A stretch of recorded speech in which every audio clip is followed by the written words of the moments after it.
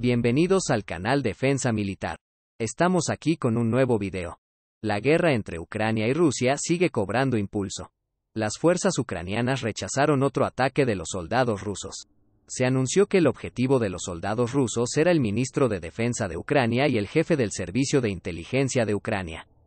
Se afirmó que el ataque se evitó como resultado del exitoso trabajo de inteligencia de las fuerzas ucranianas se anunció que los agresores fueron arrestados y que los procesos judiciales están en curso.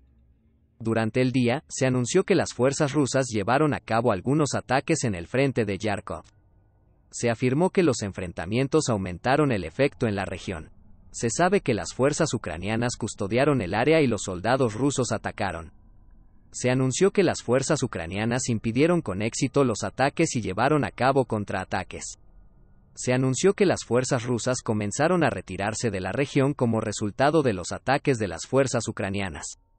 La región de Kharkov no fue la única zona atacada por las fuerzas rusas. Hubo enfrentamientos en el frente de Bakhmut.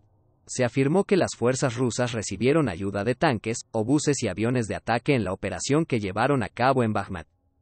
Se sabe que las fuerzas ucranianas contraatacaron en la región con sistemas de lanzacohetes múltiples HIMARS y M270. Se sabe que las fuerzas ucranianas lanzaron una gran cantidad de misiles en la ofensiva contra Bakhmut. Los soldados rusos tuvieron dificultades para defenderse de los ataques de las fuerzas ucranianas. Cuando los soldados tuvieron dificultades para defenderse, perdieron su influencia en la región y comenzaron a retirarse de la región las fuerzas ucranianas repelieron con éxito los ataques, aumentando su influencia en la región. Se anunció que las fuerzas rusas tuvieron algunos intentos de ataque en el frente de Abdivka. Se anunció que los vehículos tanka se utilizaron junto con aviones de combate en ataques de soldados rusos.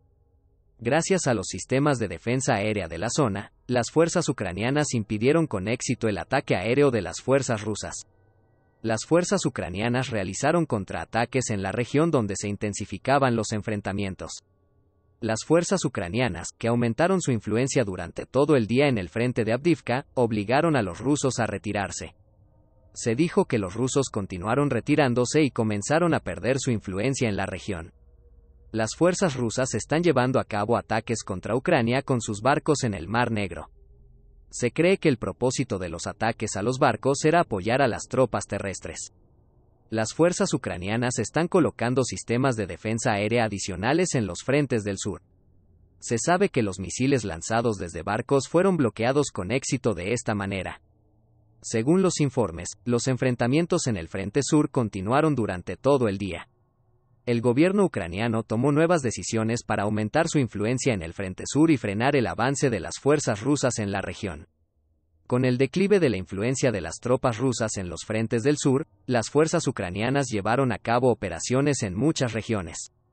Se sabe que los sistemas HIMARS, aviones de guerra, obuses y tanques ayudaron a las fuerzas ucranianas en las operaciones cada vez más a la defensiva, el gobierno ucraniano ordenó a sus tropas en la región que lanzaran más ataques. Los soldados rusos perdieron muchas municiones cuando atacaron las fuerzas ucranianas. El valor aproximado de las municiones perdidas se estima en mil millones de dólares. Las pérdidas financieras del gobierno ruso en los ataques llevados a cabo por las fuerzas ucranianas siguen aumentando día a día. El gobierno ucraniano está haciendo nuevos esfuerzos para comprar más armas el gobierno ruso continúa sus esfuerzos para enviar refuerzos al frente. Ayer se anunció que las fuerzas ucranianas atacaron el puente Antonovsky y otro puente en el sur. El gobierno ruso estaba haciendo esfuerzos para reparar y reutilizar el puente Antonovsky. Con la reapertura del puente Antonovsky, el gobierno ruso puede enviar municiones al frente. Los soldados ucranianos infligieron más daños al puente con la ayuda de los sistemas HIMARS. La apertura del puente ha sido pospuesta. Las fuerzas ucranianas frustraron así los planes del gobierno ruso. El gobierno ruso tuvo que hacer nuevos planes para enviar refuerzos a la región. Se sabe que las tropas rusas perdieron la resistencia con la disminución de su equipo y tuvieron que retirarse de las regiones. El gobierno ucraniano está realizando un nuevo trabajo de inteligencia en el frente sur. Según la inteligencia de la región, los soldados ucranianos pueden organizar nuevas operaciones. Volodymyr Zelensky hizo algunas declaraciones anoche. Zelensky dijo que los países deberían imponer más sanciones materiales. El gobierno ruso ha estado en una situación difícil recientemente debido a pérdidas financieras. Esta puede ser una de las razones por las que Zelensky busca más sanciones. El gobierno ucraniano cree que los países terminarán la guerra imponiendo más sanciones financieras a Rusia. Por otro lado, Estados Unidos hizo algunas declaraciones respecto al ataque de Rusia a las centrales térmicas.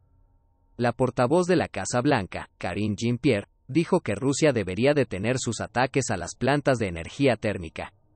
Karine Jean-Pierre dijo que los conflictos cerca de la planta de energía nuclear representan un gran peligro.